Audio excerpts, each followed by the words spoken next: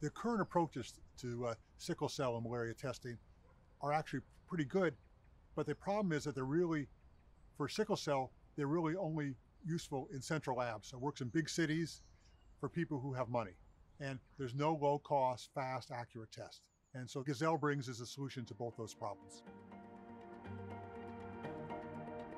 What is so cool about the Gazelle is that it solves a problem that kills over 400,000 kids a year who die of a disease that uh, can be cured easily and that can be detected easily.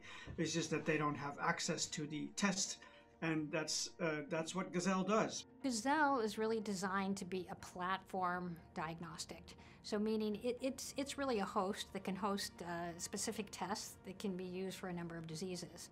We designed Gazelle to really be a platform that could go in a lot of places and could survive a lot of challenging conditions. For uh, malaria and sickle cell, you know, a lot of the tribal population in India are affected uh, with this, and they live, you know, up in the hills in very remote areas. There is no electricity. The climatic conditions are very harsh. So we needed a point of care device which we can use in these kind of settings. So we designed Gazelle to be this instrument that could run all day without power. It uh, could survive up to 113 degrees. It could be shaken up, moved around, and transported, and also could be affordable. Point of care diagnostics are, are huge. The, the WHO, for example, says that about 70% of children's lives with sickle cell disease can be saved with just early diagnosis treatment is accessible and affordable, and the ability to diagnose people is the critical piece there. So being able to do that with that patient sitting in front of you is in incredibly important.